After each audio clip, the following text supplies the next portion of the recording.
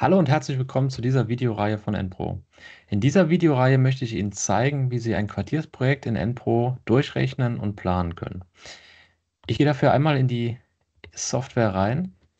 Wenn wir ganz am Anfang ein Projekt erstellen, dann können wir hier einen Projektnamen vergeben. Ähm, ich nenne das jetzt mal hier mein Projekt. Ähm, wir können den Projekttypen auswählen. Das äh, soll jetzt hier in dieser Videoreihe einmal das Quartier sein, mit dem wir uns beschäftigen. Das bedeutet einfach, dass wir mehrere Gebäude haben, ein Wärmenetz und eine Energiezentrale. Äh, auf der rechten Seite können wir den Standort auswählen. Äh, das ist so ungefähr der Standort, den wir haben wollen. Das heißt, äh, das ist verknüpft mit den Wetterdaten, die wir dann verwenden in der Simulation. Äh, nehmen Sie am besten eine Stadt eben, die in der Nähe liegt oder wenn Sie es noch ein bisschen genauer machen möchten, können Sie auch Wetterdaten hochladen. Ich zeige das hier einmal.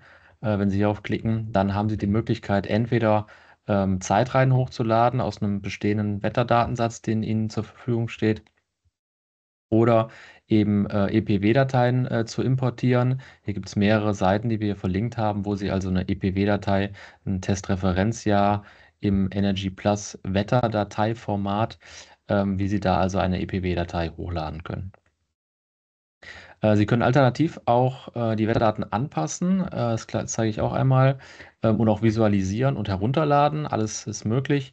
Ähm, wenn Sie auf Profile visualisieren klicken, dann sehen Sie einmal ähm, eben die Zeitreihen, die wir nutzen für die Simulation, die Lufttemperatur zum Beispiel, aufgetragen über das gesamte Jahr und verschiedene Möglichkeiten, die dann auch nochmal zu visualisieren.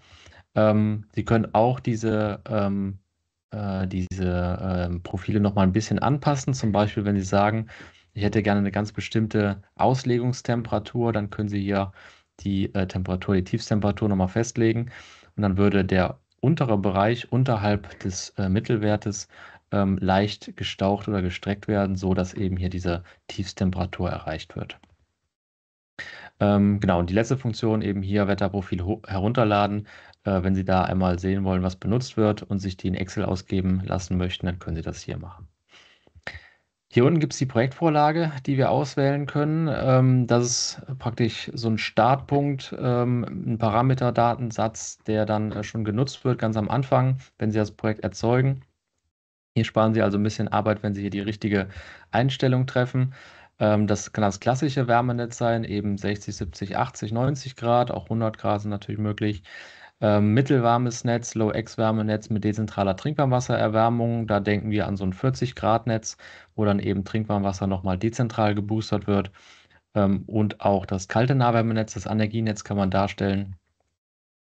Ähm, als Vergleichslösung gehen auch immer dezentrale Lösungen. Das heißt, wenn Sie gar kein Wärmenetz darstellen wollen, einfach nur schauen, wie weit komme ich mit dezentralen Luftwärmepumpen oder dezentralen Erdwärmepumpen, dann wäre das hier diese Option. Und das letzte ist ein Microgrid, das im Prinzip ähm, erstmal strombasiertes System, ähm, was jetzt nicht so stark auf die Wärme abhebt. Ähm, auf der rechten Seite haben Sie immer auch die Möglichkeit, die Kälteversorgung nochmal auszuwählen. Ähm, wenn Sie hier Kälte auswählen, dann würde eben auch Klimatisierung in den Gebäuden mitgedacht werden. Ähm, standardmäßig ist das nicht erforderlich, aber falls das notwendig ist, können Sie das hier auswählen. Ähm, egal, was Sie hier auswählen in den beiden Dropdown-Feldern, Sie können später alle Parameter auch nochmal so abändern, dass Sie beispielsweise, wenn Sie am Anfang hier ein Wärmenetz ausgewählt haben, später eben ein kaltes Wärmenetz ähm, simulieren. Ähm, genau, ich wähle jetzt mal als Stadt hier äh, Köln aus, denn da habe ich schon ein paar Daten vorbereitet. Ähm, wir haben außerdem hier noch die Projekteinstellungen. Äh, da finden sich so ein paar wichtige oder so ein paar grundlegende Einstellungen ähm, zur Bedarfsprofilerstellung und auch zur minimalen Temperaturdifferenz, die angenommen wird. Ähm, und hier in der Mitte unten haben wir noch den Button Parameter importieren. Das ist interessant. Ähm, wenn Sie später ein Projekt komplett mal angelegt haben mit Ihren Daten, Ihren Parametern, zum Beispiel Kosten für BAKWs hinterlegt haben, Kosten für, fürs Rohrnetz und, und vielleicht auch äh, Wärmepumpen hochgeladen haben, Wärmepumpendatenblätter hochgeladen haben, dann können Sie nämlich hier auf ähm, Exportieren klicken, sobald wir das Projekt einmal erstellt haben. Ähm, und dann bekommen Sie einen Parameterdatensatz mit ganz vielen hunderten Parametern, die Sie in dem Projekt dann äh, schon angelegt haben oder definiert haben.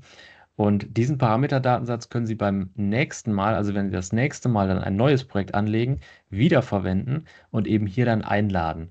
Und so brauchen Sie dann so Parameter wie eben ähm, kalkulatorischer Zinssatz oder Betrachtungshorizont oder Kosten für den Kessel und so weiter eben nicht jedes Mal neu zu äh, definieren, wenn Sie ein neues Projekt anlegen.